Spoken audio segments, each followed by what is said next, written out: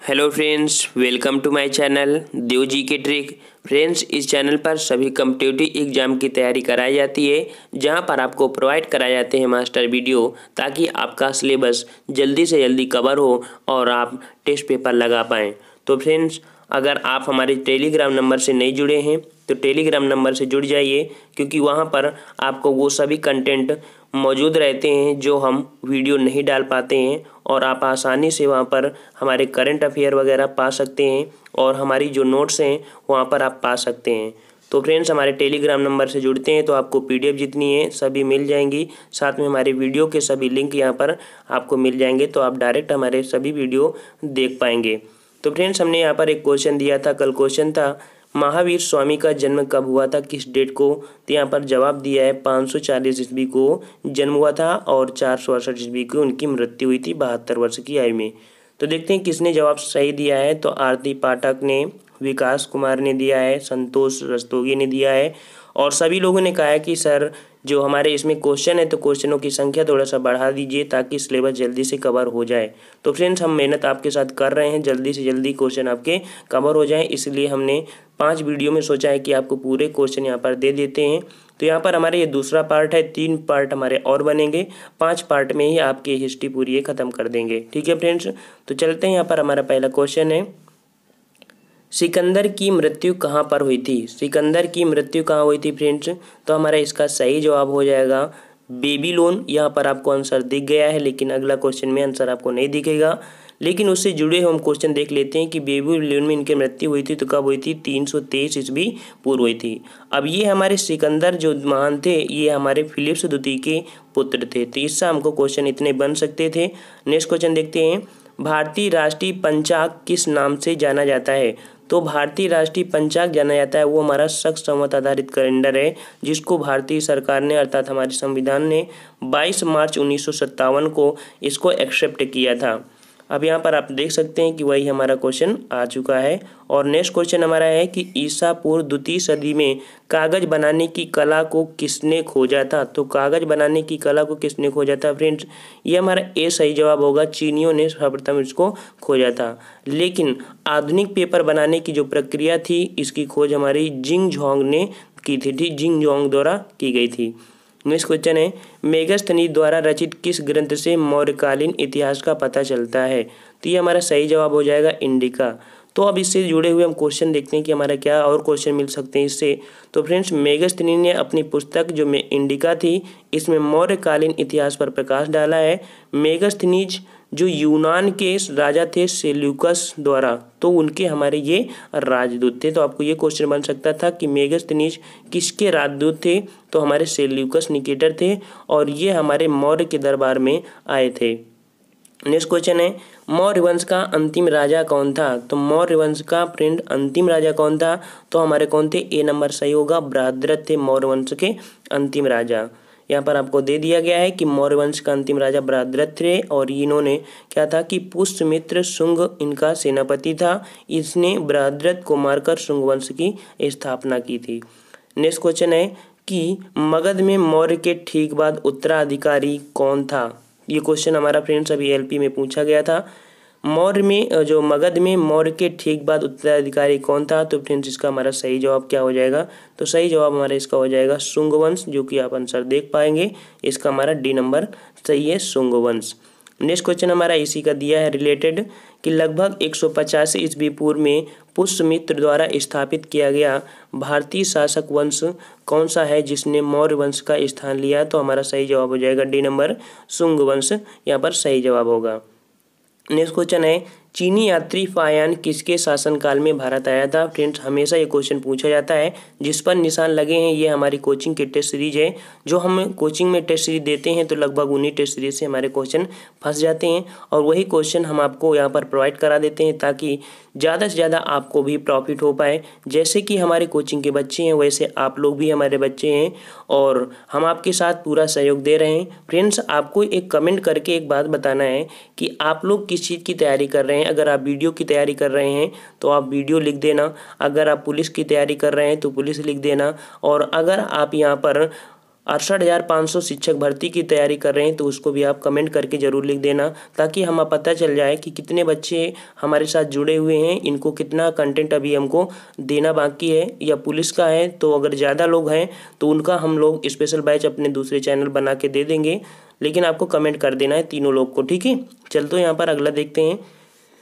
कि इससे जुड़े हुए क्वेश्चन हमारे क्या बन सकते थे? चीनी यात्री फायान से। काफ़ी क्वेश्चन हमारे हैं। तो देखो, चीनी यात्री फायान चंद्रगुप्त द्वितीय के शासनकाल भारत आया था और इनका मुख्य उद्देश्य था कि बौद्ध जो ग्रंथ का था, उनका अध्ययन करने से, उनके बुद्ध के चरण चिन्हों से पवित्र स्थान को देखना, यही इनका मेन काम था, ठीक है?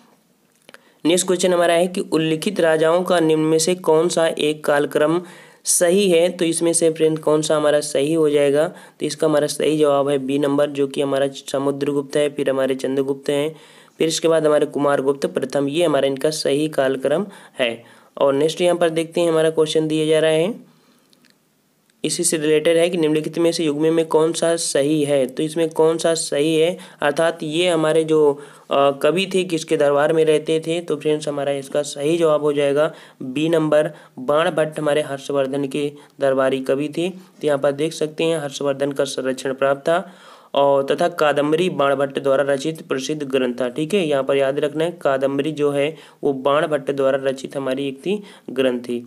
नेक्स्ट क्वेश्चन हमारा है पाल, बंगाल के पाल वंश का संस्थापक कौन था? तो बंगाल के पाल वंश का संस्थापक हमारे कौन थे? तो यहाँ पर हमारा सही जवाब हो जाएगा गोपाल। ठीक है, गोपाल हमारा इसका सही जवाब हो जाएगा।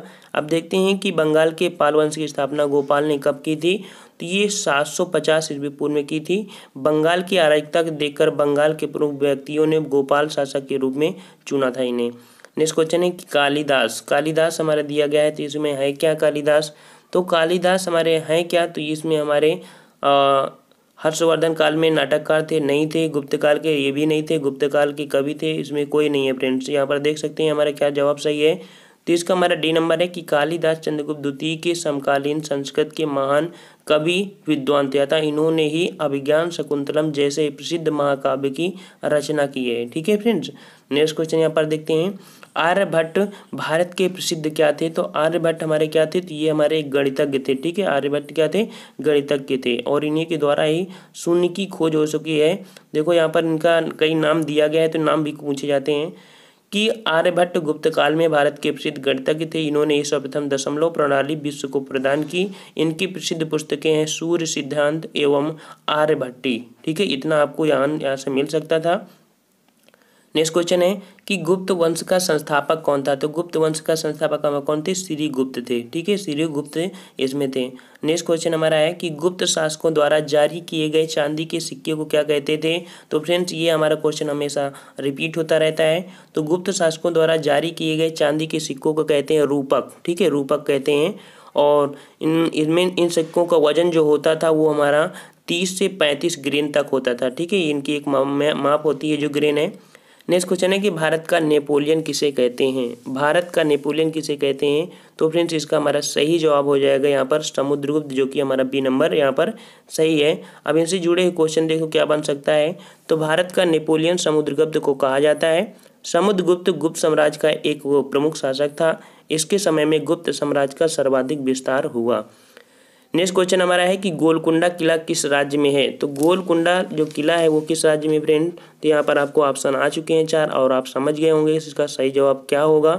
तो फ्रेंड्स इसका सही जवाब होगा डी नंबर जो कि हमारा आंध्र प्रदेश में है। तो गोलकुंडा हमारा कहाँ पड़ता है? ये आंध्र प्रदेश में पड़ता है। अब ये देखो, ये किला हमारा 400 फुट ऊँचा ग्रेनाइट की पहाड़ी पर स्थित है। इस पर सत्तासी बुर्ज बनाए गए हैं। बुर्ज के अंदर कुतुब शाही बेगमों के महल भी उल्लेखनीय है। ये हमको इससे नॉलेज मिल सकता था। जैसे यहाँ पर क्वेश्चन देखते हैं कि निम्नलिखित में कौन सबसे प्राचीन है? यहाँ पर आपके पास ऑप्शन है चार, अजंता, कुतुब मीनार, ताजमहल, खजुराहो। इनमें से सबसे ज़्यादा जो प्राचीन है, वो कौन सा है? तो फ्रेंड्स इसमें हमारा सबसे पहला है अजंता, ठीक है? अजंता सबसे हमारा प्राचीन है। तो देखते हैं यहाँ पर हमारे इससे जुड़े क्वेश्चन क्या बन सकते हैं? तो अजंता हमारा गुप्तकालीन है, कुतुब मीनार हमारे सल्तनत काल है। जो ताजमहल है, वो मुगल कालीन है, जो खुसरो थे, वो राजपूतीन कालीन था। अजंता इससे सबसे प्राचीन थे, इतना आपको यहाँ से नॉलेज मिल सकता था। नेक्स्ट क्वेश्चन हमारा है कि अजंता की गुफाओं में किसका चित्रण किया गया है? तो फ्रेंड्स, अजंता की गुफाओं में किसका चित्रण किया गया है? ऑप्शन आपके पास आ चुके हैं और आंसर हमारा आ चुका है। कौन सा? यहाँ पर ए नंबर है, जातक कथाओं अर्थात भगवान बुद्ध के बारे में यहाँ पर बताया गया है, जिसमें से बौद्ध धर्म से संबंधित जातक कथाओं का चित्रण है। नेक्स्ट क्वेश्चन है अजंता गुफाओं का निर्माण किया गया है। अजंता गुफाओं का जो निर्माण किया गया है तो किसके शासनकाल में अभी हमारा यही क्वेश्चन रिपीट हुआ था, इसके बारे में हम डिफाइन भी किया था। तो हमारा क्या था? तो अजंता हमारा गुप्त कालों के समय में ये किया गया था, जो कि हमारा ये क्वेश्चन हमारा हो सकता है क्या? तो देखो, यहाँ से बहुत अच्छी क्वेश्चन हमारे निकलेंगे, इसको अच्छे से स्क्रीन ले लीजिए। अजंता की गुफाएँ बौद्ध धर्म से प्रेरित हैं, यह महाराष्ट्र के औरंगाबाद ज़िले में द्वितीय शताब्दी ईस्वी पूर्व से सातवीं शताब्दी तक की है।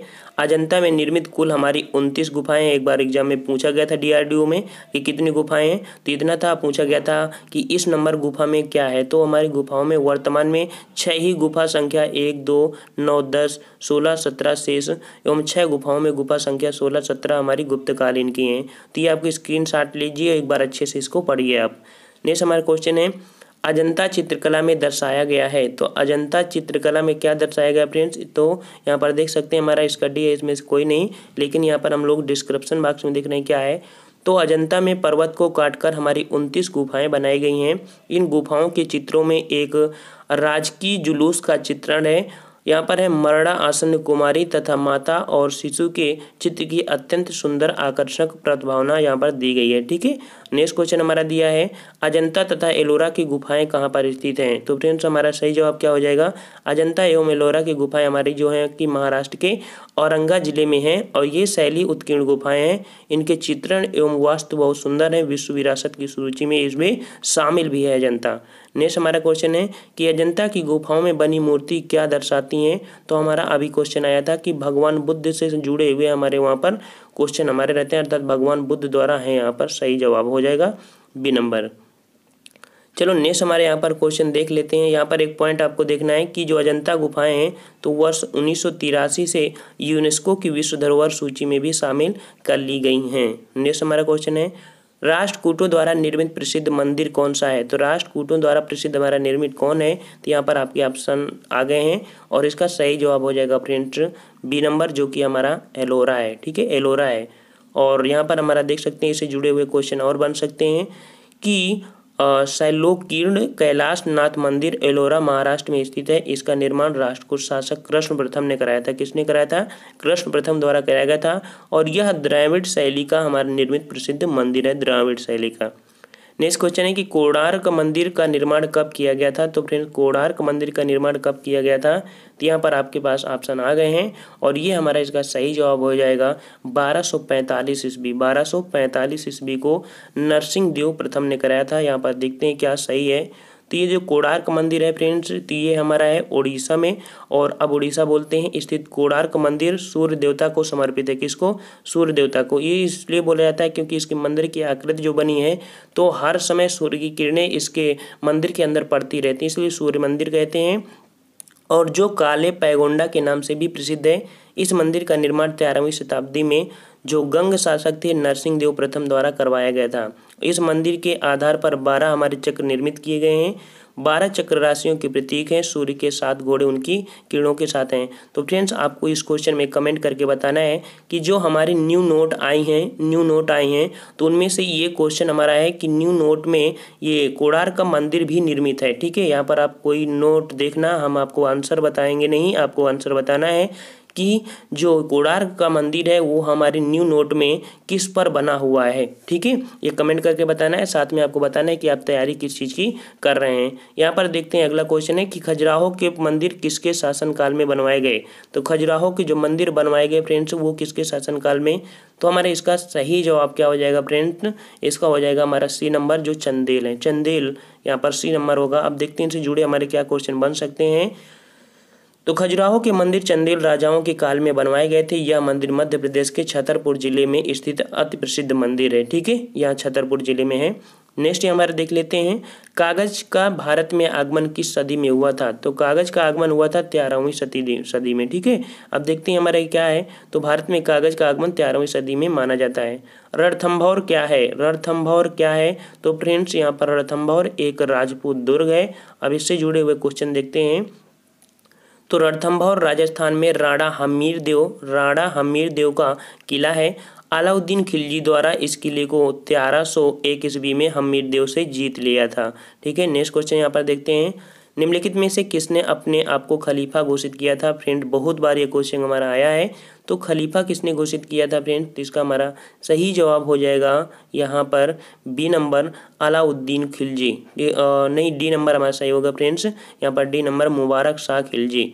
D number आपका सही है, मुबारक शाह खिलजी। देखो, इसका हमारा है कि ठुकराकर स्वयं खलीफा की उपाधि धारण की थी और तेरह सौ सोलह से तेरह सौ बीस इसकी हमारी यहाँ पर इसका शासनकाल था।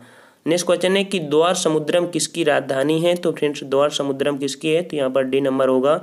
होयसल राज्यों की हमारी है। फ्रेंड्स, कहीं पर हमारी निशान लगे हैं, वो इस वजह से क्योंकि ये मार्क्समैन की बुक है, उससे हम आपको टेस्ट ले रहे हैं और ये बुक आपको मार्केट में अवेलेबल नहीं होगी। तो ये हमारी बुक बहुत ही अच्छी है, ठीक है? इस कारण हम आपको, हमने इसी से पढ़ा है, इसीलिए आपको पढ़ा भी रहे हैं। तो फ्रेंड्स ये बहुत अच्छी है, आपका बेस मज़बूत हो जाएगा अगर आपने नहीं पढ़ा है और अच्छे क्वेश्चन हैं। इस वजह से इसमें निशान भी लगे हैं तो आप परेशान मत होना कहीं कहीं पर निशान लगे हुए हैं, ठीक है? चलो नेक्स्ट यहाँ पर देख लेते हैं। द्वार समुद्रम होयसल की राजधानी थी। अलाउद्दीन खिलजी के समय यहाँ का शासक बीर बल्लाल तृतीय था, जिसके विरुद्ध मलिक गाफूर ने, काफूर ने आक्रमण कर संधि के लिए बाध्य किया था। नेक्स्ट क्वेश्चन है, तुगलक वंश का भारत में संस्थापक कौन है? तुगलक वंश का भारत में संस्थापक कौन है? तो मोहम्मद बिन हमारे थे, तुगलक थे या हमारे गयासुद्दीन तुगलक थे, इसका सही जवाब हो जाएगा गयासुद्दीन तुगलक थे। ठीक है, गयासुद्दीन तुगलक हमारा सी नंबर सही हो जाएगा। अब यहाँ पर देख सकते हैं कि तुगलक वंश का संस्थापक कौन है? गयासुद्दीन तुगलक। वह दिल्ली का पहला सुल्तान था, जिसने अपने नाम के साथ गाजी अर्थात काफिरों का वध करने वाला शब्द जोड़ा था और इसके समय में उनतीस बार हमारे मंगोल आक्रमण, जो कि सबसे ज़्यादा हुए थे। लेकिन यहाँ पर हमारे मोहम्मद बिन तुगलक के शासनकाल में जो हुए थे आक्रमण, ज़्यादा हुए थे, लेकिन अलग अलग तरह से हुए थे। इनमें हमारे यहाँ पर मंगोलों ने सिर्फ़ किया था। यहाँ पर किसने? गयासुद्दीन तुगलक के शासनकाल में। नेक्स्ट क्वेश्चन हमारा है कि निम्नलिखित में से दिल्ली का पहला सुल्तान कौन था? तो तुगलक सुल्तान हमारा कौन था? तो गयासुद्दीन तुगलक, जो कि हमारा इसका ये सही जवाब हो जाएगा। तो फ्रेंड्स, ये हमारी रही टेस्ट सीरीज़ और आपको जो हमने क्वेश्चन बताया है कि आपको कमेंट करके बताना है। यहाँ पर ठीक है, फ्रेंड्स, दस के नोट जो हमारा ये ब्लैक पैगुंडा अर्थात सूर्य जो कोणार्क मंदिर है तो वो किस नोट पर बनाया गया है, आप किस चीज़ की तैयारी कर रहे हैं? और फ्रेंड्स, ये हमारे दो वीडियो हो चुके हैं। अगर आपने हमारे टेलीग्राम नंबर को नहीं ज्वाइन किया है, वहाँ पर ज्वाइन करिए, क्योंकि वहाँ पर आपको सभी प्रकार के मटेरियल प्रोवाइड कर दिए जाते हैं। आप आसानी से वहाँ पर पा सकते हैं, और ऐसी चीज़ है, जो हम वहाँ पर यूट्यूब में नहीं डाल पाते हैं, आप आसानी से वहाँ पर पढ़ सकते हैं। आपको देख लोग, देख सकते हैं कि कैसे यहाँ पर आपको बता दिया गया है। आप अच्छे से वहाँ पर पढ़ सकते हैं और यहाँ पर हमारी कोचिंग की देख सकते हैं कि हमारी टाइमिंग जो है वीडियो की छः बजे हमारा मास्टर टेस्ट सीरीज़ आता है, बारह बजे हमारा यूपी स्पेशल आ जाता है कभी कभी प्रॉब्लम हो जाती है नेटवर्क की और आठ बजे हमारा ऑब्जेक्टिव करंट भी आता है पीएम रात बजे, ठीक है? और इसके बाद हमारे और भी हमारे हैं जो बैच चल रहे हैं तो फ्रेंड्स हमारे आप चैनल से जुड़ सकते हैं, आप काफ़ी लाभ ले सकते हैं। तो फ्रेंड्स हम लोग मिलते हैं नेक्स्ट वीडियो में और ये टेस्ट सीरीज़ हमारी पाँच हमारी वीडियो की रहेगी, दो सीरीज़ हो गई है, तीन वीडियो और बची है। इसकी जगह पे हम लोग दूसरा ले लेंगे जो कि हमारी जोग्राफी होगी। फ्रेंड तो आप लोग हमारे वीडियो को शेयर करिए। अगर आप शेयर करना चाहते हैं तो कर सकते हैं लाइक करना चाहते हैं तो कर सकते हैं। तो फ्रेंड्स हम लोग मिलते हैं नेक्स्ट वीडियो में। तब तक के लिए धन्यवाद। जय हिंद, जय